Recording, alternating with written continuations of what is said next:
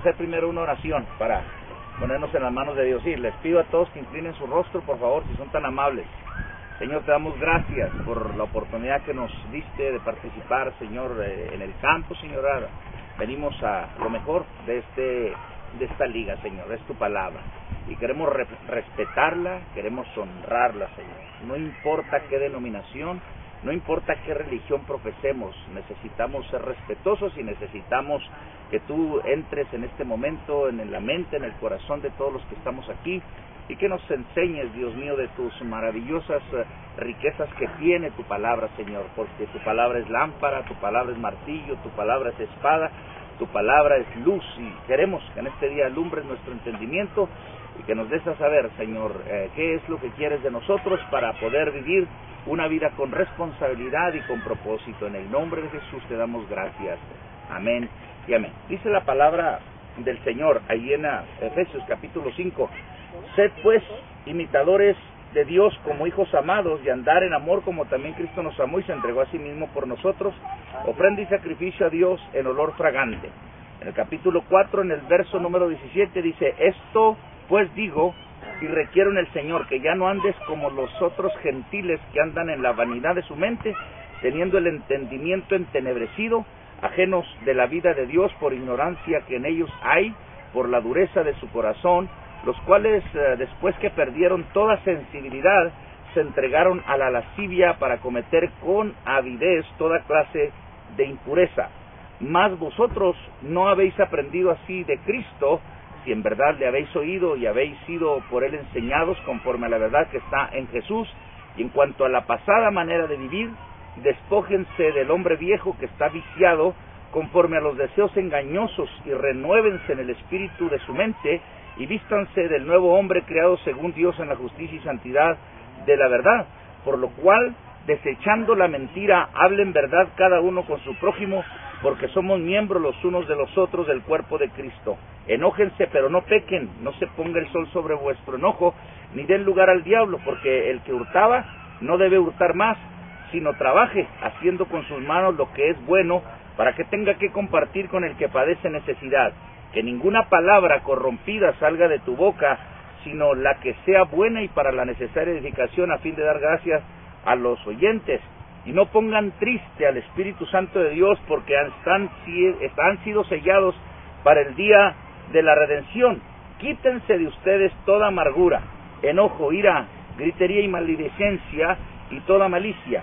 Antes sean benignos unos con otros, misericordiosos, perdonándonos a, unos a otros como Dios también nos perdonó en Cristo Jesús.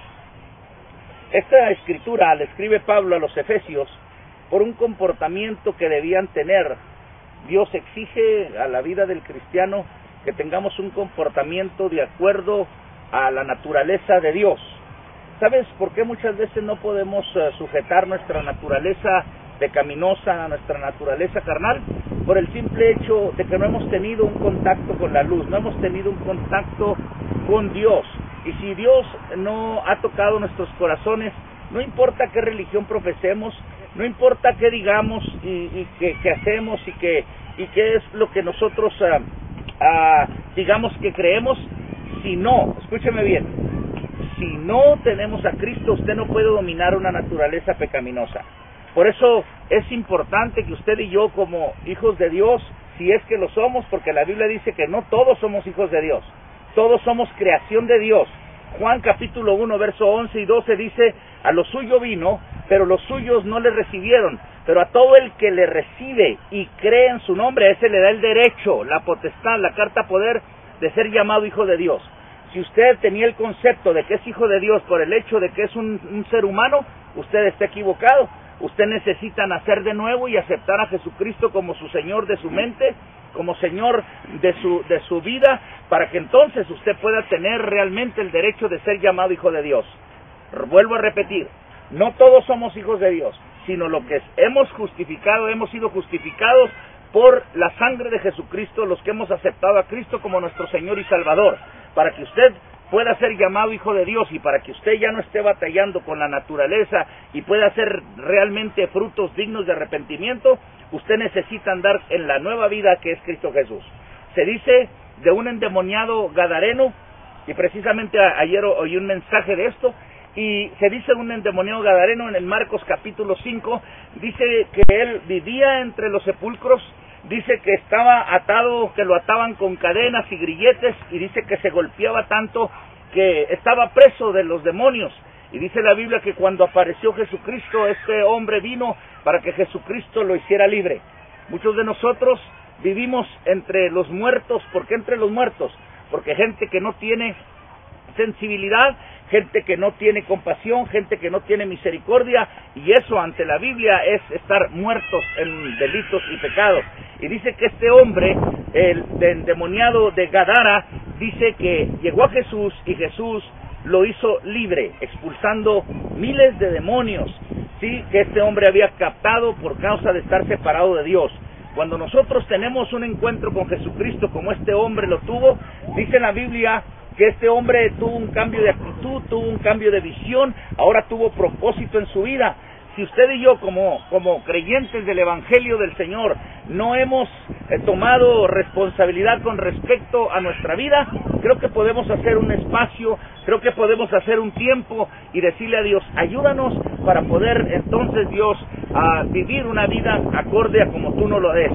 El propósito de la liga al predicarles el Evangelio es para que usted se dé cuenta de que en la vida es bueno jugar, en la vida es bueno trabajar, en la vida es bueno estudiar, pero es más bueno tener a Dios, porque hay muchos ricos que son miserables, ¿sí? Pero hay muchos pobres que son ricos por el hecho de tener el mejor tesoro en el corazón que es Jesucristo. Usted puede tener habilidades únicas como individuo, usted puede tener habilidades magníficas dentro del campo de juego, pero quiero decirle una cosa, que si usted no tiene a Cristo, usted es un pobre miserable. Usted es una persona que lamentablemente no ha sabido entender los propósitos que Dios tiene con usted. Cuando el, el endemoniado Gadareno tuvo el encuentro con Jesús, dice que después tuvo una nueva vestimenta, que tuvo una nueva, una nueva habla, un nuevo comportamiento y hubo mucho asombro allí en Gadara, en la ciudad donde él vivía, porque sabían que él estaba preso, sabían que él estaba encadenado, sabían que el demonio había tomado control de su mente. Y la Biblia dice que tenemos que aceptar a Jesucristo para que nuestras cadenas se rompan. A lo mejor estás esclavizado de la pornografía, a lo mejor estás esclavizado de alguna de, algún vicio, alguna actitud como persona que te está perjudicando. Eres preso, con perdón de, ustedes, hasta de la masturbación, porque estás en tu juventud, porque estás en tu, en tu poder, sí, en tu, en tu fuerza, y estás preso. Eso es una atadura, ese es un encadenamiento y tú necesitas ser libre. Si te gustan tanto las mujeres que te estás acostando constantemente, no tienes una responsabilidad, eres un hombre imprudente, eres una persona que no sabes las consecuencias de no tener temor de Dios. Por eso te digo que si no tienes a Cristo y estás participando de alguna actividad ilícita para agradar a tu cuerpo solamente, pero no para agradar a Dios, entonces tú eres un pobre miserable. Necesitas un cambio, necesitas renovar tu mente, necesitas vivir en la luz. Tú estás en tinieblas, pero Jesús quiere que estés en la, en la luz. Estás en la ignorancia, pero Jesucristo quiere que estés en el conocimiento. No es, escúcheme bien, no es lo que yo sé, no es lo que yo aprenda, no es lo que yo pueda hacer eh, con mis títulos como universitario o con mi uh, profesión, sino es un encuentro con Jesucristo lo que me hace exento para que el día de mañana cuando Cristo aparezca y me diga oh, es tiempo de que me entregues cuentas, entonces yo tener un momento en el cielo con Él, no un momento, sino una eternidad con Él. Si no tienes a Cristo, te invito a que aceptes a Jesús.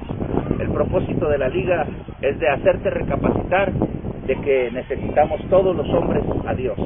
Y sin Dios no podemos caminar, sin Dios no podemos ser lo que queremos ser. Solamente Dios nos puede dar un cambio de las perspectivas que tenemos.